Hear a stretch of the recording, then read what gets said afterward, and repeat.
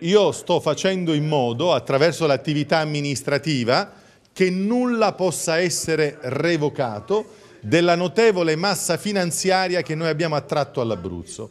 Parliamo in 52 mesi di circa 3 miliardi di euro. Oggi abbiamo avuto conferma di un ulteriore tranche di finanziamenti concernenti investimenti riguardanti l'edilizia scolastica, investimenti riguardanti il patrimonio sportivo della nostra regione, della messa in sicurezza di giacimenti anche ambientali e turistici.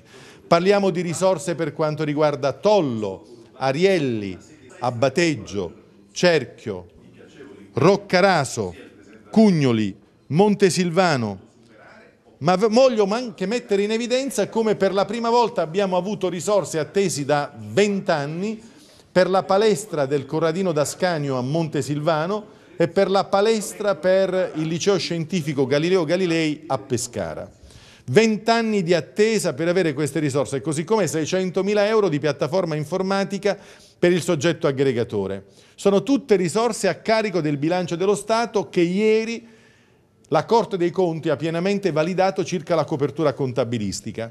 Da oggi le amministrazioni possono procedere a fare i bandi di gara e ad assumere gli obblighi giuridicamente vincolanti.